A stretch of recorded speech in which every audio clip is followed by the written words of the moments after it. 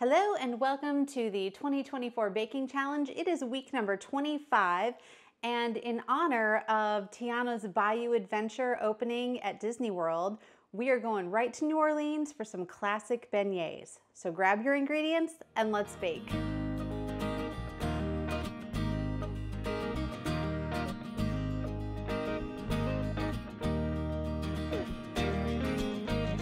Apologize in advance if you hear any yelling. The kiddo is playing a game with his friends and it can get a little loud. So the ingredient list is kind of long, but it's not complicated. This is all stuff that you probably already have in your refrigerator in your pantry. You can make this by hand, you can use your mixer, or in my case, I'm going with the bread machine because I'm going to set this and then walk away from it. I have other things to do. I will apologize in advance because this is a two day bake. Today we are making the dough and then it's gonna need to sit in the fridge overnight. It's going to slowly expand in the fridge. So you're not having beignets today. You're gonna get them tomorrow though. We're just gonna start the process today. If you are using a mixer or doing it by hand, it doesn't really matter what um, order you put your ingredients in. If you are using a bread machine, this is a Hamilton Beach bread maker. I love this thing. I use it weekly. If you are using a bread machine, your wet ingredients are gonna go in first. The last thing you're gonna put in is gonna be your yeast, okay? So for wet ingredients, we have a half a cup of milk. It needs to be room temperature. We have a half a cup of water, also room temperature. We have two tablespoons of melted butter.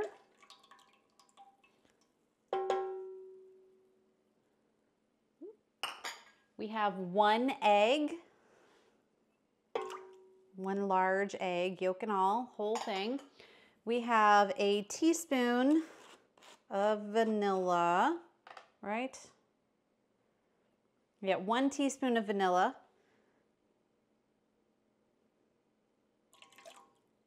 I'm gonna add a little extra because you know I love my vanilla.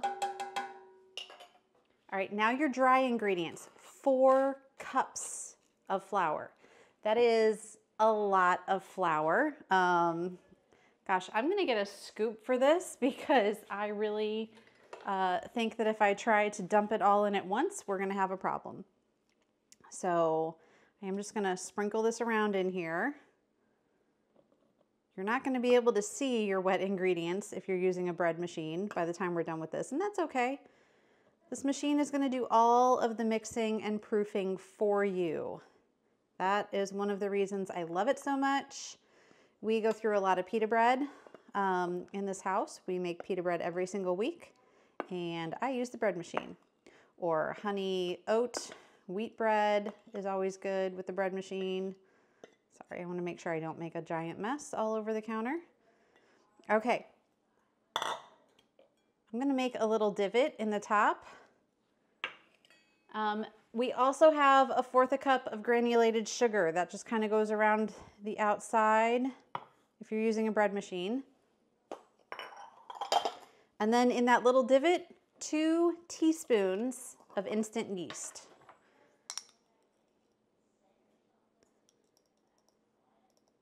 So there we go.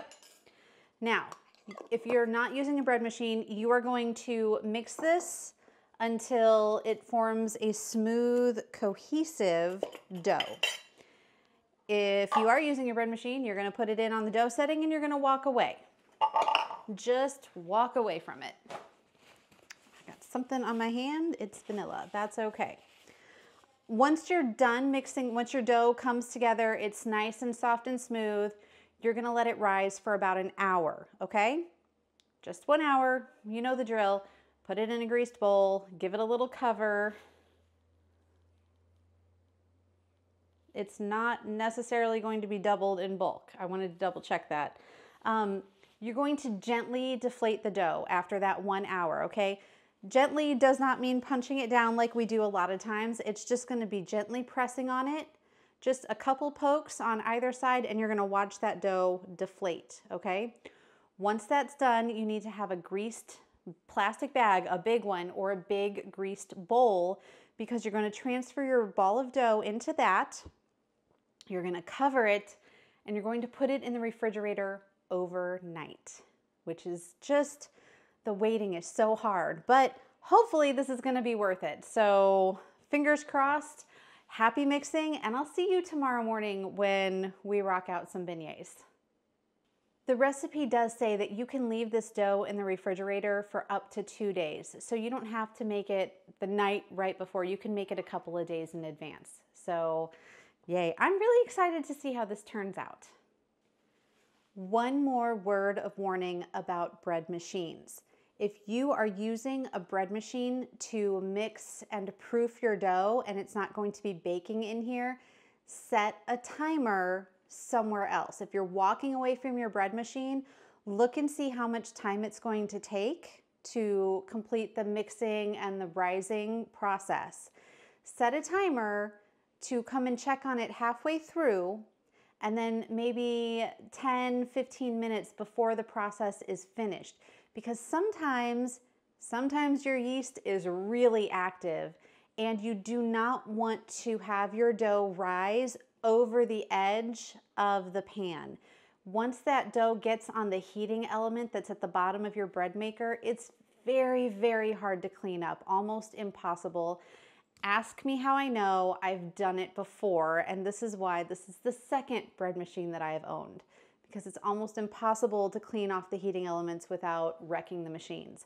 So make sure that you're being cautious, you're setting a timer, and you're checking on your machine as you go.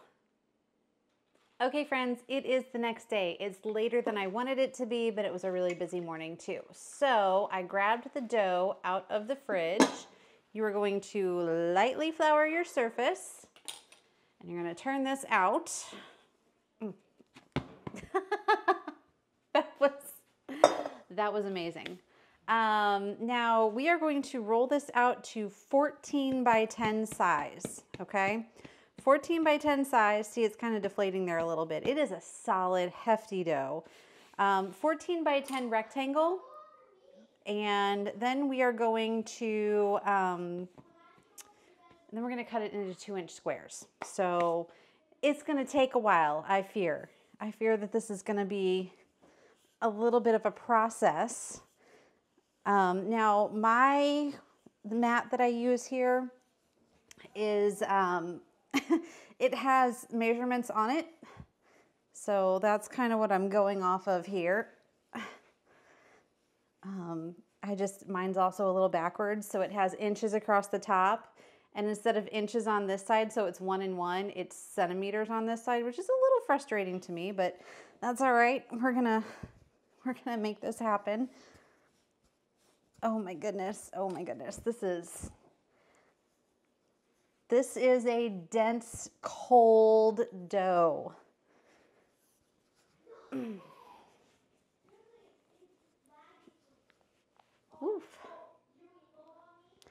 You are going to need a skillet. Now the recipe calls for an electric skillet, says that that's preferable. Um, I don't have one of those. You need at least a 10 inch skillet and it has to be how deep? three fourths of an inch deep. So I think I'm just gonna use cast iron for this. My cast iron skillet heats really well because we're gonna fill that sucker up with oil. And um, I'm gonna go get my other rolling pin. I feel like I can put a little bit more oomph into it with the, with the rolling pin with the handles. So yeah, let's see how this is gonna go. Yeah, see, I can, I can roll a little easier with this one. Something to grasp with. And this is not a delicate dough, so you don't have to be, you don't have to be careful with it. Whew. It is arm day here in the kitchen. And you may have to trim off some dough just to make sure that you have that rectangle shape. And that's okay. Oh my gosh, this is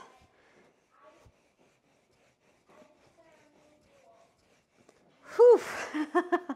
Kind of makes me wish I had one of those uh, dough sheeters in here and I could just put it through that. You guys have seen those? All right, we'll come back to it when it's the proper shape. Okay, now I have cut the edges off of mine to try to get that rectangle, but I'm saving these because I've never done this before. I've never fried a dough. So these are gonna be my test pieces. Now we're doing two inch strips. So I have my handy little kitchen ruler out and I am just making my lines with my pizza cutter here. And then I'm going back over like so. And then I guess this is going to be pretty much in half, so I'm just going to eyeball it because that's what we do here sometimes. And it's a little wonky, but that's okay. Now, same thing. We're basically doing two inch squares.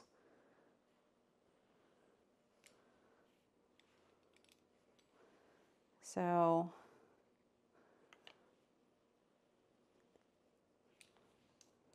And it's okay. They're not going to be perfect by any means. And I apologize again because the kid is gaming again. So, all right. There's all of my squares except for this one, which did not get cut all the way through. So let me just take care of that. Okay, I'm gonna set this aside and I'm gonna get the skillet going. Okay, you're gonna need some tongs and a plate covered with some paper towels. And your oil needs to get up to 360 degrees, 360 degrees, okay? So thermometer, okay? Don't let your oil get too hot. We are not having an emergency room visits today. Not on my watch, okay? Please be careful. Can you drop these in a deep fryer? I don't know. The instructions do not say. Um, I also don't know if they can go in an air fryer, although uh, with enough of these little ends left, I'm absolutely going to try that. So I will check back in and let you know how that goes after we get these done, the way that the directions say to do. Um, again, be checking your oil, okay? You do not want it to get too hot. I'm using my rechargeable digital thermometer here. I'm at two something now and the oil is sizzly. So um, I'm, I'm at 270. So I'm tempted to drop something in and see how that goes because it's really hot. But I, I know I have to wait. Waiting is not easy. Don't rush it. Okay, we have reached 360 degrees. It says to drop like five of these in at a time. Be careful not to splash, please, please, please. Um, try to keep them separated. Oh, it's very much bubbly. I'm only gonna do like five here. Um, and I'm gonna pull my, this one out. Give it a little shake. Okay, now that they're all up to the top, we start counting a minute. Once we get to that minute mark, we are going to flip them over. There, see they're poofing up and getting all pillowy. I'm going to kind of keep them moving around. Almost there. Um, my oil might be up a little high, so I'm going to turn this down. I really do not love this uh, skillet or this stovetop. Okay, I'm gonna flip mine because they are getting awfully brown, a little too brown. Okay. Um, so one minute. they are happily just boating along here. So I'm gonna go ahead and add a second round, I guess. I have a really big skillet. So I feel like uh, that's okay for me to add a few more.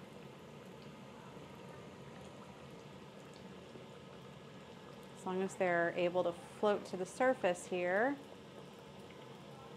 Yeah, these are golden brown. I'm going to take them out. Hopefully they're done inside.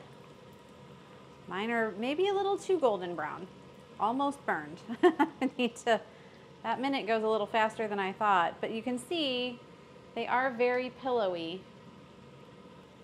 Going a little lighter on this batch here because I feel like I'm just overdoing them.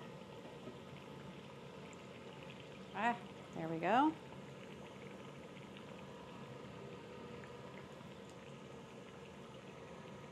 Getting a little bit of popping now. I do not like frying things. I hate frying things. It fills me with so much anxiety.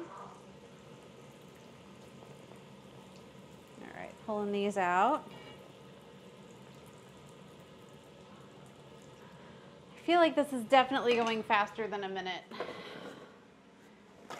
Um, and I need to add another layer to my paper towels. Let's go ahead and turn these. See, that's more of a golden brown, I think. I feel like that's, oh boy, this is a mess.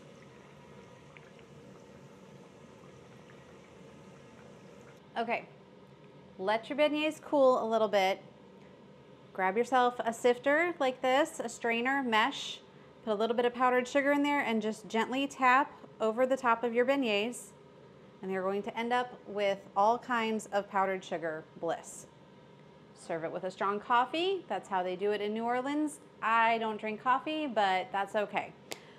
All right, let's, uh, guess I'm gonna give these a try. Oh, mine need to cool down a little bit more. I have the air fryer heating up for our little experiment, but I cannot wait anymore because these smell great. They look really good. Uh, this one's still a little hot. This one feels better. Mmm. These are soft. The dough has a little bit of a hint, hint of sweetness. Um, they're pillowy. They kind of pull apart, like break apart on the inside. That dusting of powdered sugar is just perfection. They're very crunchy on the outside. Um, I love these. This is another winning recipe from King Arthur. Absolutely. Two thumbs up. These are really great, and it's going to be very hard to share them with anyone. So I threw the rest of these in the air fryer at 360 degrees for about six minutes. Um, kind of gave them a little shake. They are pale. So here's the air fryer. And here is the oil. They taste fine. Um, I don't think it's anything to write home about. It has a slightly different texture on the inside and it doesn't have that crunch when you bite into it. Other than that, I mean, it's still a sugar bread. So you do with that what you will. If you want to try the air fryer method, go for it. I would rather do it in the oil and I don't like frying things. So there you go. Well, I'm covered in powdered sugar and shame, and that wraps up yet another week of the 2024 Baking Challenge. If you haven't already, hit that subscribe button below if you want to follow along and bake along with me. I put these videos out every single Saturday morning between 7 and 9. You should also head over to the Facebook page. The link is below. Uh, every Wednesday morning, I'm going to put out the ingredient list and the name of what we will be making. That way you can get your shopping done. So anyways, uh, I'm gonna go eat some more of these and I'll see you next week.